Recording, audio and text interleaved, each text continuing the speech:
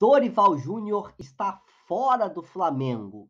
E a conquista da Libertadores e da Copa do Brasil estão em risco? Dorival Júnior está fora do Flamengo? E a conquista da Taça Libertadores da América e da Copa do Brasil estão em risco? Fala galera, gente boa, beleza? Tranquilo? O técnico Dorival Júnior pode sair do Flamengo em 2023, mesmo conquistando aí a Copa do Brasil e a Taça Libertadores da América. Falo já já.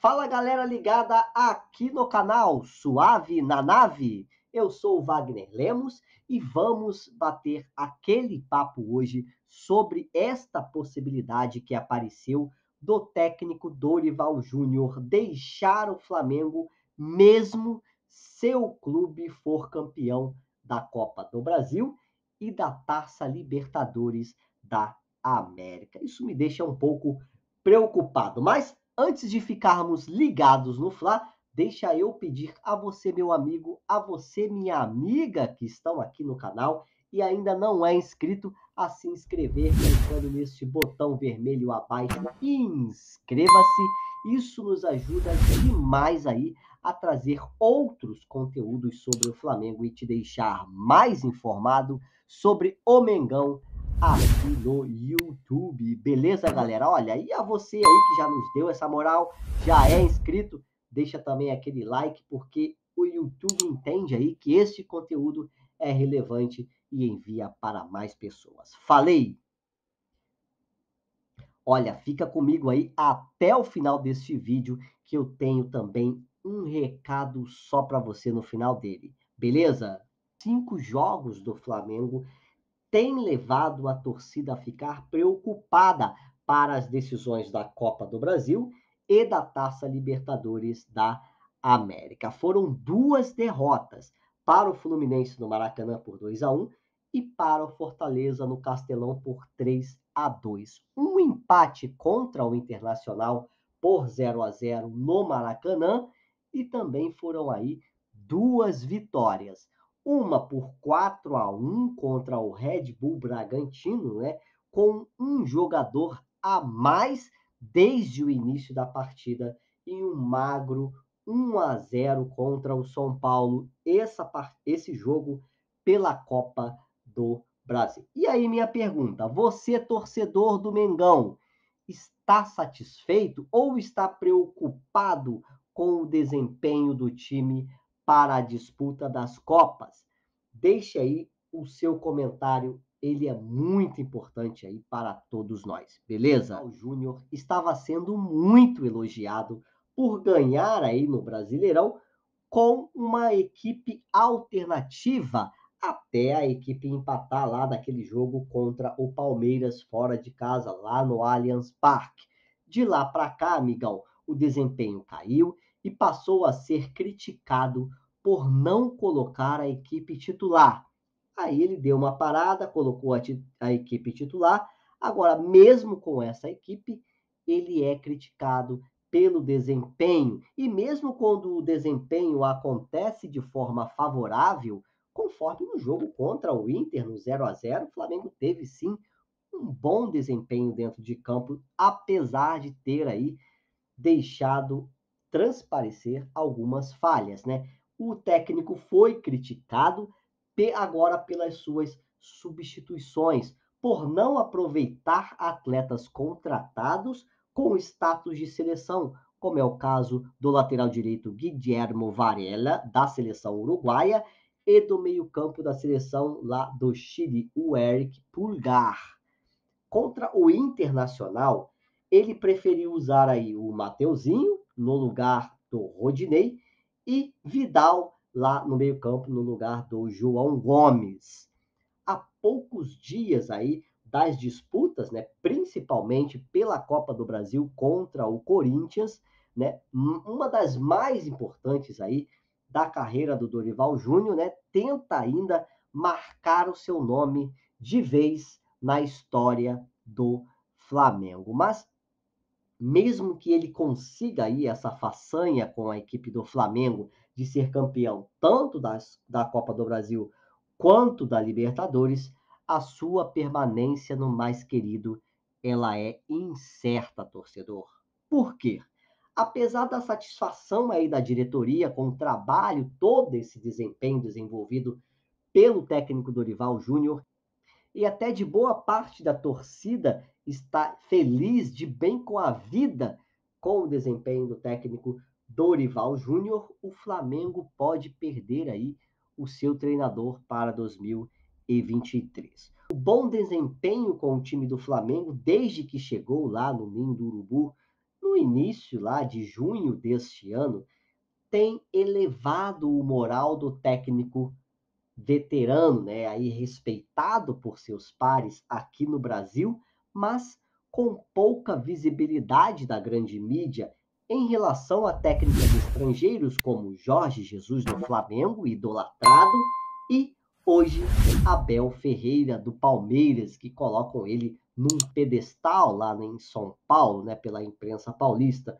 Entendo que o técnico Abel Ferreira tem demonstrado números como treinador muito, mas muito é, satisfatórios, não só para o Palmeiras, mas para a carreira dele como treinador no Brasil, né? Mas voltando a falar do Dorival Júnior, o contrato dele vai até dezembro de 2022 e sua saída do, do mais querido, do Flamengo, poderá acontecer sem multa em 2023.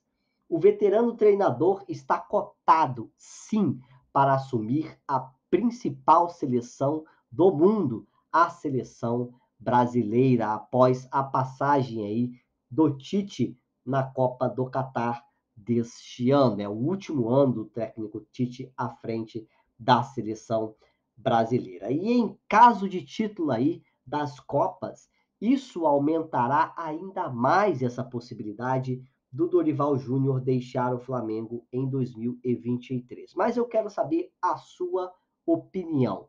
Você, torcedor, acredita que o técnico Dorival Júnior recusaria um convite para permanecer aqui no Mengão? Recusaria a seleção brasileira para permanecer no Flamengo? Deixe aí seu comentário, ele é muito importante para todos nós. Se você, torcedor, usar como parâmetro os últimos cinco jogos, terá um pouco de preocupação com aí toda essa euforia com o desempenho do técnico Dorival Júnior à frente do Flamengo.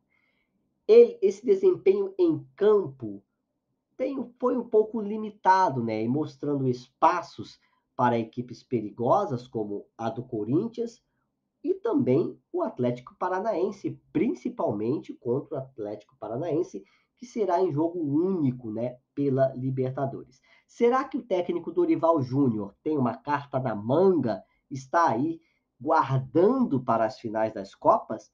Tomara que sim, vamos torcer para que seja esse o diagnóstico. É esperar para ver, eu espero que ele conquiste as duas Copas para o Flamengo. Se você quer saber como o Flamengo aí chegou ao patamar financeiro que é hoje, toda essa. Se você quer saber como o Flamengo chegou ao patamar financeiro que é hoje, amigão, assista o vídeo Primeiro Clube Bilionário do país.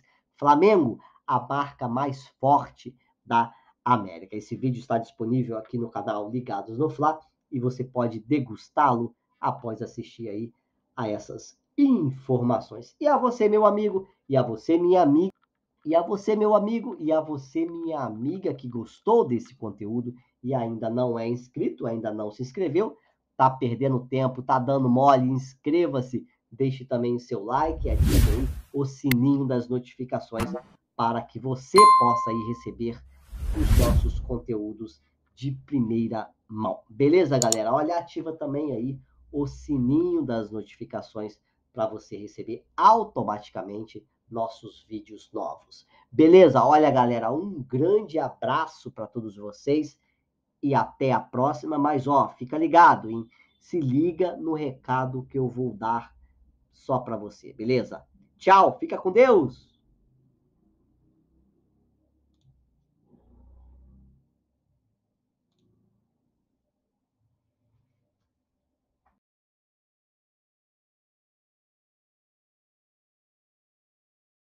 parte aqui do canal, que nós conversaremos aí sobre as nuances do futebol, sempre com devido respeito. Beleza, galera? Olha, este vídeo tem aí um oferecimento do curso preparatório SCVC.